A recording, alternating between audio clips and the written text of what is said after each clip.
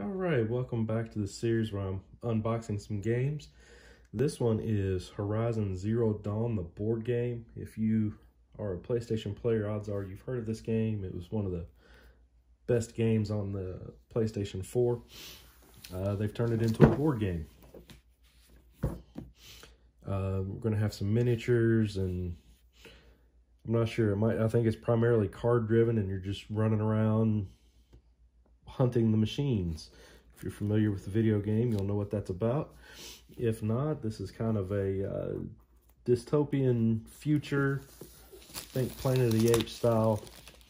The Earth is overgrown and overrun by these uh, giant machines. Most of the time take the shape of dinosaurs or some other type of animal. There's some you can actually use as horses too. Anyway, let's get this thing open and see what we see what we've got. All right. First thing we've got is the rather thick instruction book. Uh, right about 50 pages long. Let's see.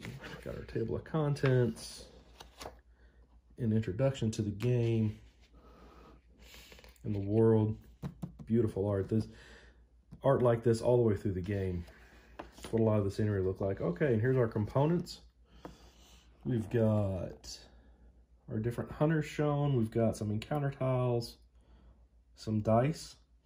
Those of you who know me know that I love dice. Um,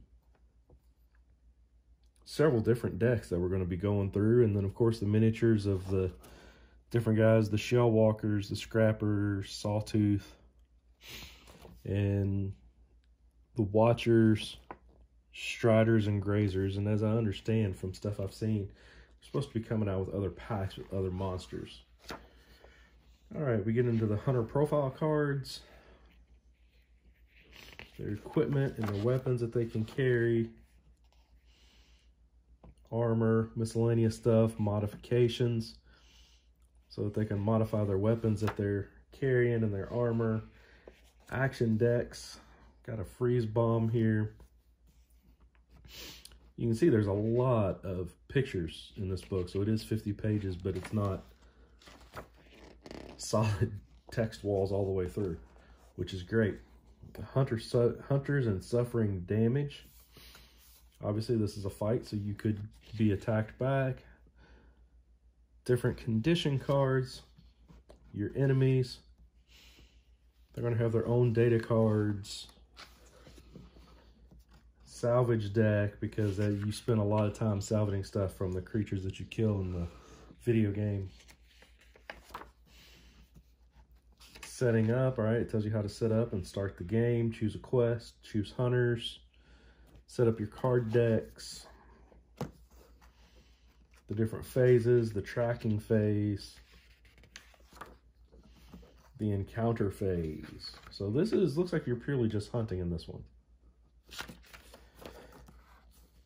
Which is kind of cool. That was one of the best parts of the game, was just being able to wander around the world. The hunter turn, hunter activation, different actions. They can sprint, sneak, craft, distract, have a ranged attack or melee attack. There's some free actions that you can do. Goes into detail about performing the attacks, gives some examples.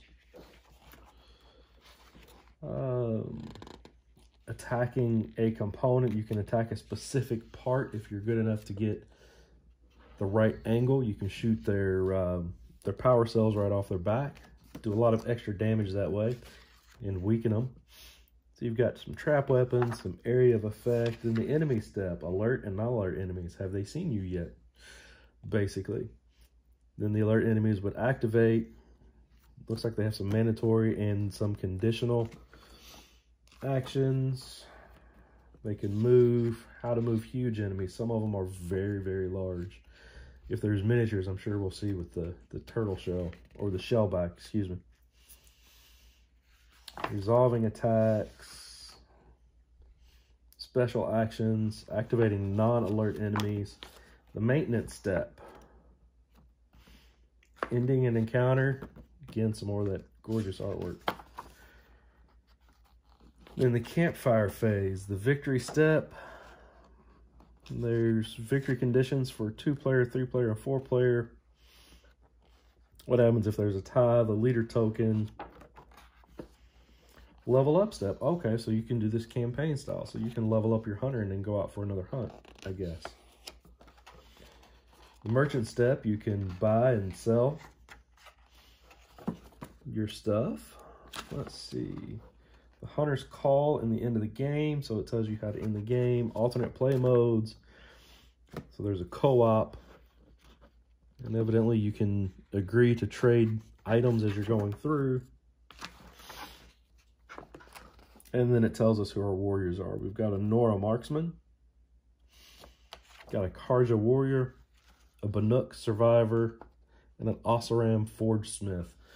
These are four of the main factions in the in the video game that you would play. And then there is a quick reference on the back of the instruction book, which seems to be the norm these days. Uh, I absolutely love a game that offers you storage bags because if there's no real solution for uh, storing your stuff, at least you can throw it in bags. All right, so we've got uh, we got some tiles here. I'm not sure what all these are. I recognize some of the symbols from playing the game, but I don't remember what all they are. I'm sure they're all covered in the book. Decent thickness, you know, they're they're good and sturdy. So there's that, and then we've got, now we get into some of the big sheets. All right, here's some of our map tiles several other tokens, map tiles. These are trails that I'm sure are trails that you're hunting enemies on. More than likely. Another map tile.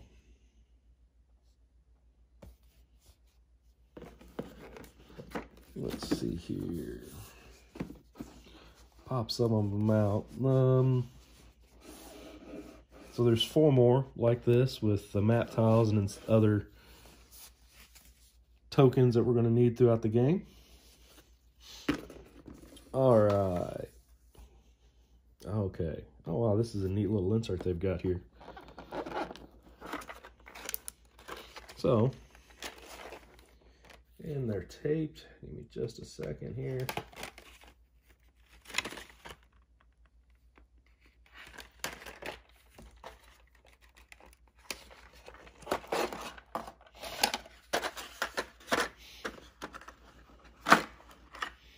All right. Here's one of our, I'm assuming the player character. The only four human ones that I see. But these are the cool ones. These are the enemies that we're going to be facing, the creatures we're going to be hunting. Really cool.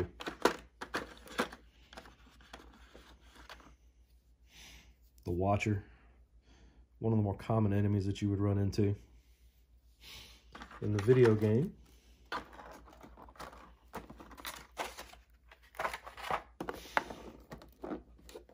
Let's see if we can get into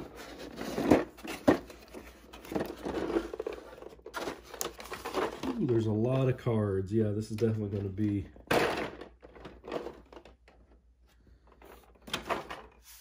looks like a definitely a card driven game. Set that out of the way and we'll just deal with this. Yeah, that's cool right there. That's the shellback. You want to get behind it. Their weak points were usually in the back, if I remember correctly, from the game. Very cool stuff. You can see the size of these bases and the size they are compared to the player characters definitely large creatures that we're facing. Cool stuff. Really cool stuff.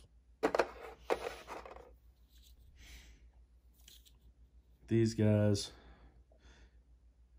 used to give me some trouble trying to fight them in the game. I don't know why that one particular one did, but And then here's the one I talked about that in the game you could actually capture it and ride it as a mount. Pretty cool. All right. Custom dice.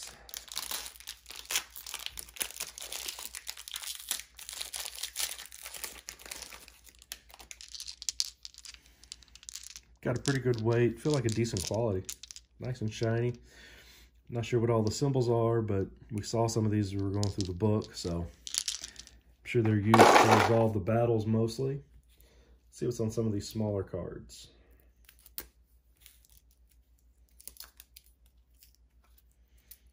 If I can get them out.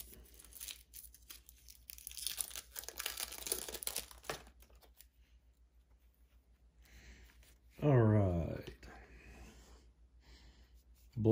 Which was the fuel that was used in the game. Sparker. Yeah, these are going to be the ones that you can find and can be used for upgrading stuff. You're upgrading components. Chill water, that's how you would make something frozen. Metal shards, yeah, those were used a lot for in the crafting part of the video game. A lot of metal shards. Uh, machine cores, yeah, those were those were highly sought after. Machine lenses, more upgrade part. Oh, here's some other cards. It still breathes. You barely snatch your fingers away as the machine lurches once more to life. Return the enemy to the square it was killed in with any tokens it had gained. Oh, it comes back to life. Not quite dead yet. So, gonna have to fight that one to finish it off. Ancient vessel again. That's a that's a coffee mug. But this takes place, like I said, in a dystopian future where the world as we know it has ended and life has started over. An ancient necklace, ancient chimes, car keys. Really cool stuff that you can go through and discover. So, yep. All right, there's the small cards. I don't know if I'm going to go through all of these decks, but we'll open at least one of them. Maybe.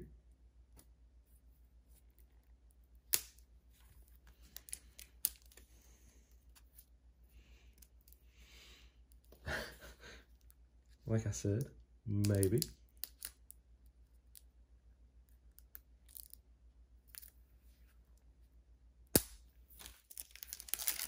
There we go. Yeah, the Sawtooth, Shell Walker, the Scrapper, the Strider, the Watcher. see what's on the other side of these cards. Uh, it's just what happens if they're not alert. Um, Strider, the Scrapper. Hunter within one square, it moves to the closest hunter.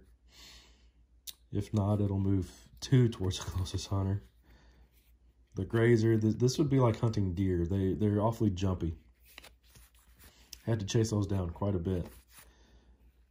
So, just different things that they do and how they interact with you when you get close, it looks like.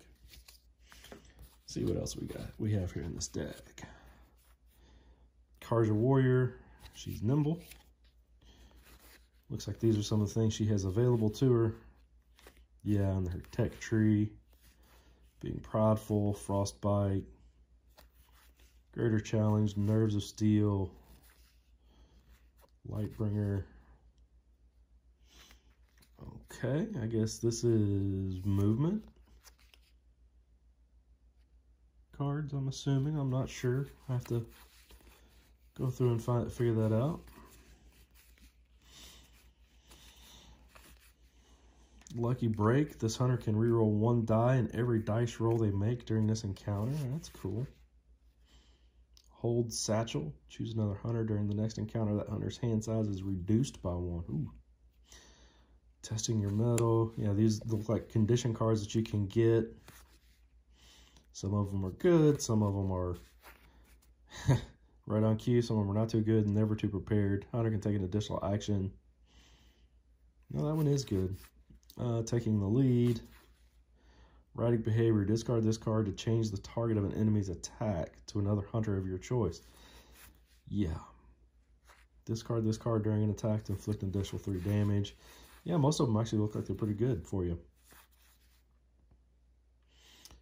Uh, at the start of the encounter, once all the hunters have set up, you may switch the starting position of any two enemies. Ooh, that could really mess somebody up if they're trying to track a particular animal. All right, like I said, I'm not going to go through all of these decks. Is there anything under... Anything under here? Yes, there is actually. Let's see what we've got here.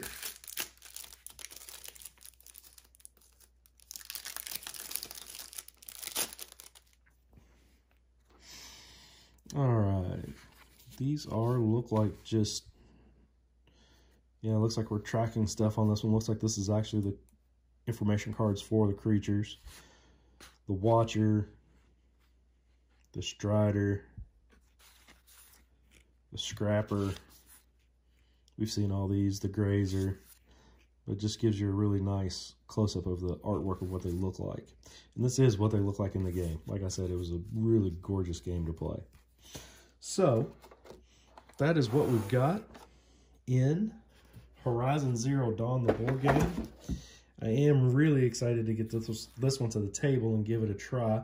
Um, it is ages 14 and up, probably for the small parts. Um, one to four players in an hour to an hour and a half. So fit right in in game night. Hopefully we'll get this to the table soon and I can let you guys know what I think of it. Thanks a lot.